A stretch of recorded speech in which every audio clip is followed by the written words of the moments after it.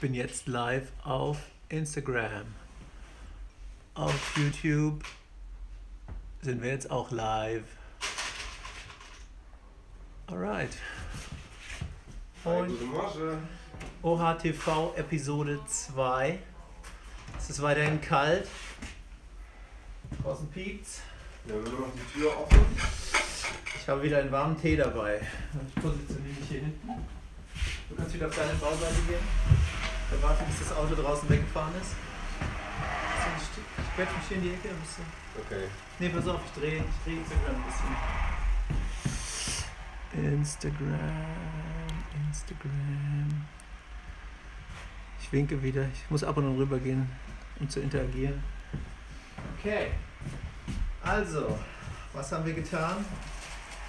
Wir haben von allen, die geliked haben, jemanden kommentiert haben, die Namen aufgeschrieben und werfen die jetzt in unsere Lostrommel zu unserem Mhm. kleinen Gewinnspiel. In Geheimschrift. Ja, Genau. so. Alle da rein. Am Ende der Show wird der Gewinner gezogen. Für was? Was gewinnt der Gewinner? Das ist das Package da. Das hier. Das wird gewonnen. Richtig. Jawohl. Über die Farbe kann man auch diskutieren, ne? Auf jeden Fall. Dann haben wir ja die ganze Wochenaktion gehabt und haben diese schönen Pintails rausgehauen und haben angekündigt, weil im Livestream letzte Woche die Nachfrage nach den DDs war, dass wir heute mal ein DD montieren. Und damit legt der Björn jetzt los, während ich einen warmen Tee trinke. Okay, gut. Das wird ein bisschen komplizierter zu montieren, weil ich muss die Achsen auseinandernehmen, um die da durchzustecken. Haben wir das letztes Mal gezeigt, was da passiert, wenn man das durchsteckt? Ja, ne? Du hast gezeigt, dass es tiefer liegt, aber warum, warum liegt es tiefer? Ja, normalerweise steht ja das Board auf der Achse drauf. Und jetzt ist es aber bei dem Drop-Through so, dass die Achse sozusagen in dem Board drin steckt. Also die Baseplate von der Achse, die steckt so drin. Und dann kann man quasi sagen, dass das Brett an, an der Achse hängt. Ne? So. Jetzt hier die Last drauf kommt. Und deswegen muss ich das auseinandernehmen und ich muss vor allem diese kleinen Scheibchen hier benutzen zum Montieren. Haben Sie sehen? Kleine Scheibchen. Ja. Weil sonst hängt ja das Brett komplett an den Muttern. Und die sind ein bisschen klein, die würden sich so ins Holz reinschwanzen. Deswegen kommt da noch so eine kleine Unterlegscheibe drauf, als Auflagefläche. Und dann brauchen wir auch, genau. Genau, sag, wenn ich einarmig irgendwie assistieren kann. Ja, genau, du bist mein einarmiger Assistent. So, jetzt zum Glück muss man bei diesen Achsen hier nicht aufpassen, welches das Bottom und welches das Top-Bushing ist. Die sind nämlich gleich bei der guten Bolzenachse. So. Okay. Dann aufpassen die rum. So. Also YouTube-Verbindung ist instabil, aber diesmal schaffen wir es vielleicht, das Instagram-Video zu saven. Letzte Woche ist das Instagram-Video nach 24 Stunden verschwunden. Aber es gab trotzdem noch eine Menge Leute, ne? Ja, ist sau gut. Instagram sind alle am Start. Und jetzt. Oh, man kann sogar Effekte machen, pass auf. Holla, die Waldfee. So. Ähm, Alles gut. Ich hab nichts zu tun außen. Unterlegscheiben genommen. Ich brauche noch gehe. Und einen Schrauber und einen Schraubenzieher. Also hier ist erstmal. Sehr gut. Was ist das jetzt für ein Deck, was ich hier montiere?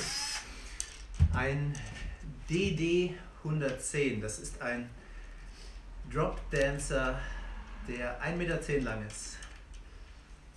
1,10 Meter lang. Mhm. Deswegen nennt er sich Drop Dancer. Da kann man auch mal einen Schritt hin und her machen, beziehungsweise hat man eine gute Standfläche. Denn ich hole mir mal ein anderes mit ähnlichem Shape, da kann ich das mal zeigen. Steckst du drauf. Na, draufsteigen werde ich nicht, sonst falle ich runter und habe gar keinen Arm mehr. Aber Dann bricht er ab. Das, das wird aber Traffic generieren. Ja. Ne? Das müssen wir vielleicht auch mal überlegen. so, das wäre ein gut- guter Outtake. Mhm. Also, dadurch, dass wir die Achse durchstecken, kommt die Rolle näher ans Brett.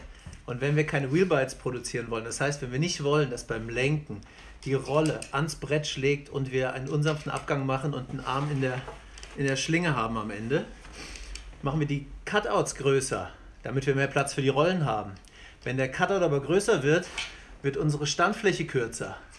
Und deswegen haben wir auch für, für Menschen mit, mit Bedarf für Platz auf dem Board und langen Beinen zum Beispiel hier eine Variante, die, die schön lang ist. Also Ich habe zwar, Beinen, ich wollte gerade sagen, ich habe keine langen Beine, aber ich habe gerne die Möglichkeit, meine Füße mal vor, mal zurückzustellen und nicht nur eine Standposition zu haben. Und somit präferiere ich den 110er. Aber wie ist denn das mit der Körpergröße und dem, und der Brettlänge? Da kriege ich total oft die Frage, ob ich jetzt irgendwie, wenn ich klein bin, dann auch ein kurzes Brett haben muss. Also, Wie siehst du das? ich habe schon mal viele Leute, boah, so hört man gar nichts. Warte mal. Ich komme dann auch hier vor. Also, Körpergröße im Vergleich zu Brettlänge. Man kann davon ausgehen, dass ein Kind mit einem 1,30 Meter einen langen Dancer fahren kann, wenn die Achsen schön weich sind, dass das ganze Ding auch lenkt. Genauso wie, sagen wir mal, mein Bruder, der 1,90 groß ist, sehr gerne mit einem Mini-Cruiser durch die Gegend fährt, der ihm nicht mehr bis zum Knie reicht. Also von daher schaut, welcher Shape für das taugt, was ihr tun wollt und nicht, wie groß ihr seid. Ist es denn schwerer, ein kurzes Brett zu fahren oder ein langes? Je kürzer das Brett, desto wackeliger wird das Ding. Länge läuft. Das ist stabiler, oder? Weißt du, was Stefan erzählt hat vom Shop? Der macht doch diese Skatekurse immer, ne? Mit Ja. den Kids. Und er meint, die Kids, die rennen immer los und versuchen, die langen Bretter abzugreifen bei den Testbrettern. Die wollen immer die längsten Bretter haben. Ja? Also irgendwie, ich glaube nicht, dass man Körpergröße und Brettgröße irgendwie so wie beim, weiß ich nicht, beim Skifahren oder beim Snowboardfahren, da machst du ja gut so Körpergröße und, und Brettgröße müssen zusammenhängen. Aber das ist bei Skateboards, glaube ich, nicht so. Da kommt es vor allem darauf an, was man mit dem Brett machen will. Das heißt, wenn man sich drauf bewegen will, holt man sich ein schön langes Brett, um ein paar Schritte zu machen. Wenn man es kurz und kompakt haben will, für gerade unter den Arm in die S-Bahn, nimmt man halt ein kürzeres, aber geht davon aus, dass es einfach lebendiger wird und man ein bisschen mehr Kontrolle braucht. Und wenn man wirklich Stabilität will, braucht man ein Setup, was dazu taugt. Das heißt, die Achsen müssen präzise sein. Das heißt, jemand, der super schnell Downhill fahren will, braucht einerseits viel Gewöhnung, aber auch ein System aus Lenkwinkel, Bushings und Präzision, was funktioniert. Und dann sind die meisten Downhill-Bretter auch nur einen Meter lang. So, die Achsen sind montiert. Sehr gut. Oh, Stream so geht. Ich werde hier das Stream Manager. Yo. Jetzt kann ich wieder die Hänger drauf machen. Guck jetzt. Wie war das? War egal, welche Riechen sind. Ne? Bei denen ist es egal, das sind's, oder? Ja. Bei denen ist es egal, bei den Bolzenachsen ist es egal, aber der Hänger, den kann man flippen, ne? den kann man so rum oder so rum montieren. Richtig. Der Bushing Seat hier in der Mitte da, der ist nämlich nicht genau auf der Mittelachse, sondern der sitzt ein bisschen außermittig. Das heißt, wenn ich das so rum montiere, dann habe ich eine etwas nachlaufende Achse und wenn ich so rum montiere, dann habe ich eine etwas vorlaufende Achse. Das führt jetzt aber zu weit, oder? Das führt zu weit. Wir sollten irgendwann mal einfach eine Runde machen, nur zum Achs- Erklären von Achsgeometrien. Was ist. Vorlauf, was ist Nachlauf, was nennt sich da Rake und so weiter. Und Wie- warum? Auf welchen man Ebenen da was läuft und warum das? genau. Ja. Ja. Auf Es jeden gab Fall. mal eine Achse, ne? ähm, sag mal nicht den Markennamen, da stand auf der einen Seite, was stand da drauf? Auf der einen Seite stand ähm, 50 Grad und auf der anderen Seite stand 42 Ja. Grad oder irgend so was komisches vom Hänger. Was dann irgendwie, und man dachte, okay, wenn man den Hänger umdreht, dann verändert sich der Winkel. Das stimmt überhaupt nicht. Mhm. Das ist voll der Quatsch. Ja, der Winkel bleibt gleich, wenn man den Hänger flippt. Ähm, da verändert sich was anderes, aber das führt jetzt zu weit. Ich wollte gerade sagen, das heißt, ihr, ihr könnt, ihr könnt äh, Technik, Technikfragen reinstellen und wir versuchen sie zu beantworten. Spätestens in der nächsten Folge, denn wenn hier was gepostet wird oder hier, kann ich oftmals erst im Nachgang alles lesen, weil wir zu weit weg sind. Sehr gut, da will jemand ein Brett bestellen. In den nächsten Wochen, das freut uns. Wenn du irgendwelche Fragen dazu hast, melde dich. So, die sind jetzt gleichermaßen festgezogen. So. Man sieht das an den Windungen hier von der Schraube und fühlt sich auch gleich an. Das heißt, es ging jetzt schneller als ich dachte. Das ist die jahrelange Übung. Ja, irgendwie bin ich doch noch nicht so ganz raus mit dem Montieren. Soll ich doch wieder vorne im Shop mich hinstellen? Ah, da fehlt ein Ringmeter. Nee. Okay. Ja, wenn, man, wenn man mal ein paar hundert Bretter zusammengebaut hat, dann ist wie Fahrradfahren. Jetzt brauche ich noch Kugellager. Ich habe gar keine Lager.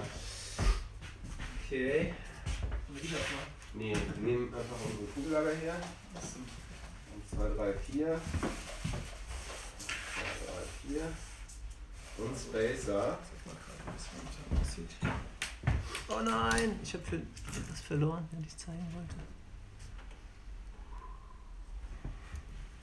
So ist der gerade wieder.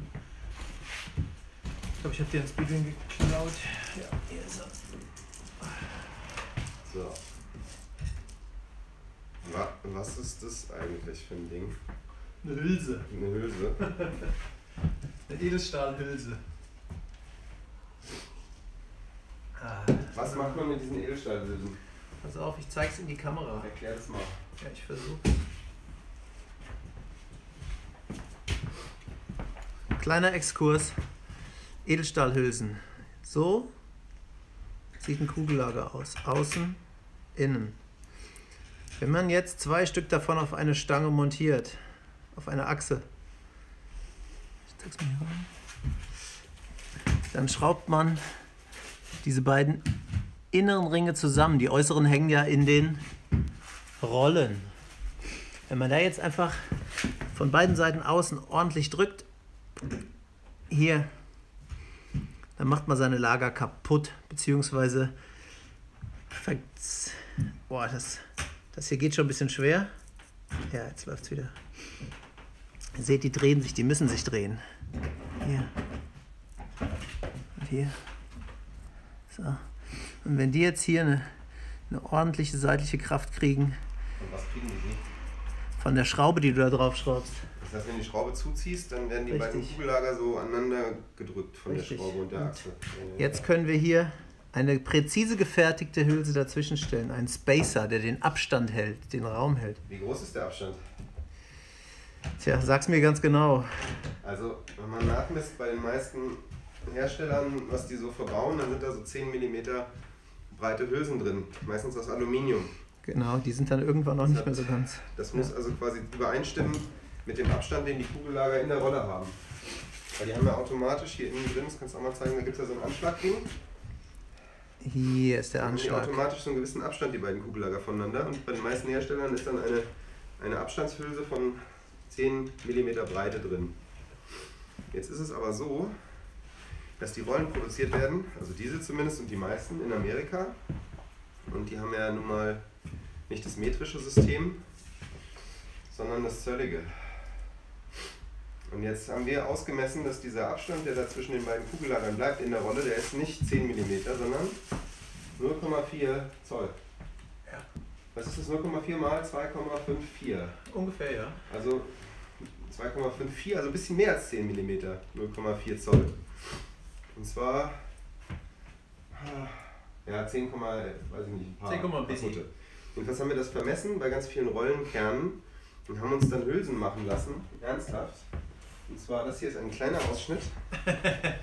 Das sind diese Hülsen. Davon haben wir gefühlt 20.000 Stück da hinten in so einer Box, die wir nie bewegen, weil die so schwer ist, aus Edelstahl. Und dadurch ähm, kann ich jetzt sozusagen, habe ich jetzt 0,4 Zoll Hülse. Und ich kann die Schraube hier so fest zuschrauben, wie ich will. Die Rolle dreht immer frei und das ohne Spiel. Weil diese Hülse exakt mit diesem Rollenkern übereinstimmt. Das ist ein Vorteil. Außerdem drückt sich die Hülse nicht zusammen. Bei den Aluhülsen hast du es oft, dass sie so geknauscht werden. Und dann ist halt auch Essig ne, mit Freilaufen. Genau, das heißt, schaut euch mal eure, eure Kugellager an, wenn ihr die zu Hause habt, beziehungsweise die Spacer, und guckt, ob die am Rand hier schon so eine kleine Nase haben. Weil dann habt ihr sie schon komprimiert und dann erfüllen sie nicht mehr ihren Zweck. Das Deswegen- merkt man auch, wenn man jetzt die Schraube zudreht und die Rolle stoppt, dann ist das halt kein gutes Zeichen. Ja. Weil das geht aufs Kugellager. Deswegen haben wir uns die machen lassen. CNC gesägt. 10, 6, 6. Ja, von einem Hersteller, der auch für kleine Hülsen macht, für Lagerungen von einfachen Rädern, zum Beispiel von den ganzen Mülltonnen in Deutschland, die, die Räder, die da dran sind, ne? die sind ja nicht Plastik auf Plastik, sondern da ist eine kleine Die Metallhülse drin. Die rollen gut, da ist kein Kugellager drin, einfach nur eine Metallhülse. Und der Hersteller von diesen Metallhülsen, die habe ich angerufen und habe gesagt, macht ihr uns mal zigtausend von so kleinen Abstandshülsen. Und die haben gesagt, ja, können wir machen. Und jetzt haben wir Gestern Abend wieder den Mülltonne rausgestellt. Ich bin wieder fasziniert, wie gut die tatsächlich rollen, auch wenn man sie un unsanft bedient. Aber das müssen sie auch abkönnen. Jetzt, das musst du eigentlich mal zeigen. Ne? Jetzt, ich, mit vollem Gewicht, ja, hier, Tja, kein Biss. wir weil- das. Pass mal auf, drehst doch mal hier vor. Also das ist, das ist so hier drin. So. So. So, diesmal so. Ja. So, jetzt kannst du es hier anlegen. Jetzt kannst du mal Druck geben. Ich kann es mit einem Arm halten.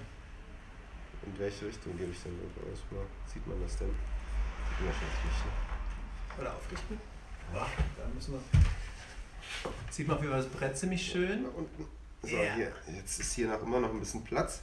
Und man sieht auch, dass die Rolle und diese Kante hier, dass die dann parallel werden. Es ist natürlich so ausgemessen, dass diese Ausschnitte hier, diese Cutouts für jede Achse, die man da montiert, so passen. So, genau. Und auf die Weise kriegt man bei so einem Board, wenn man das jetzt hier anguckt, man kann das sehen, dann hat man, kannst du mal so halten, und das,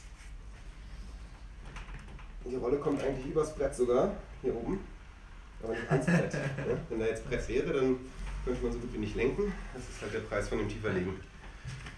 Deswegen vielleicht auch nicht schlecht, wenn die Standfläche ein bisschen länger ist, damit eure Füße nicht die Rolle, die plötzlich an der Seite auftaucht, äh, touchieren. Genau. So, jetzt brauchen wir eigentlich Flex- Flex-Experiment auf dem Tisch. Ernsthaft, ist das denn ernst jetzt? Ich glaube schon. So, jetzt sag mir erstmal, dass der Tisch mich aushält. Du hast ihn gebaut. Er muss halten. Ich halte die Rolle fest. So, und jetzt rauf auf den Tisch. Möglichst elegant. So, Björn steigt jetzt auf den Tisch und zeigt euch mal den Flex vom Brett oder zerlegt unsere Bank und hat auch nächste Woche den Namen in der Schlinge. Und gleich habe ich die Kopf in der Lampe. Ja, ob das eine gute Idee ist. Ich halte es fest. So, kann man das sehen? Ja, kann man sehen. Okay. Oh ja. So. Wenn ich erstmal ein bisschen Björn, wie viel wiegst du? Oh, das ist geheim. Geheime Frage. Björn wiegt über 90 Kilo. über 90 Kilo. Ja, So, und wenn er jetzt da drauf ein bisschen wippt, wippt das Brett, aber es hängt nicht bis auf den Boden durch. Genau, es ist nicht so weich wie so manche andere. Und dieses Wippen, das ist natürlich auch eine Federung. Ne? Also wenn jetzt nicht ich wippe, sondern der Untergrund wippt im Sinne von, der fährt über Kopfsteinpflaster, dann gibt es diese Mikrovibrationen, die normalerweise den Fuß zum Kitzeln bringen und bei so einem Board halt eher nicht. Das ist wie so eine Federung. Achtung, jetzt muss ich mal hier runterhopsen. Vorsicht. Einfach da. Genau. So. Das haben wir jetzt zusammengeschraubt. Okay. Super Wir müssen Teil. noch ein, äh, wir machen wieder für eine Woche eine Aktion. Das heißt, wenn ihr ein DD 110, wie wir es hier zusammengeschraubt hat, haben wollt, gibt es das für 199 Winterpreise. 199 Euro. Wenn die Sonne rauskommt, wird es teurer. Ähm, E-Mail wieder an heckmarty at olsonheckmarty.de. Olson Heckmarty, nicht Olson. Olson. O-L. Olson. Seht ihr ja. Seht ihr, seht ihr, seht ihr. Seht ihr, genau. Alright. Wow. Okay. Ich würde sagen, das haben wir. Wir müssen die Losziehung machen. Wir müssen einen Gewinner ziehen. Okay, ich, ich schüttel den Lack und du machst die Fee, ja? Genau, ich, gucke nicht. So, die sind da alle drin.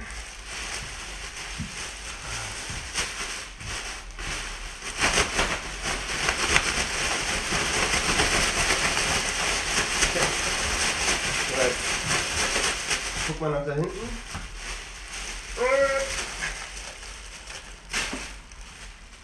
Gewonnen hat Julia Knopp. Oh ja. Julia Knopp, bitte bei uns melden. Du bekommst einen Satz Rollen deiner Wahl, ein Döschen Steez Grease und einen neuen Satz Lager. Das da. Das hier. Genau. Du darfst dir natürlich die rosanen Rollen nehmen oder auch eine andere Farbe wünschen. Da kommen wir überein. Alles weitere ähm, verlinkt uns wieder verlinkt eure Freunde unter dem Post, teilt das Ganze und nächste Woche ziehen wir wieder aus allen, die auf Instagram und auf YouTube. Wie war die Aktion nochmal ganz genau? Lass es uns ganz genau strukturieren. Ihr liked das Ganze, ihr teilt es und ihr verlinkt drunter einen Freund, eine Freundin, damit die nächste Woche auch reinschalten. Ja? Alright. Und wir schreiben dann wieder alle Namen, die wir da sehen, auf. Klar, Papa haben wir da. Papa haben wir genug da. Genau. Alright. Und wir sind jetzt erstmal für. Für den. Richtig. Schredder. Ciao, gell? Also, wir sehen uns nächste Woche. Bis dann. Stream Adieu, beenden. Bam. Bam. So. Schaffe ich es heute zu speichern, ist die Frage. Beenden. Jetzt beenden.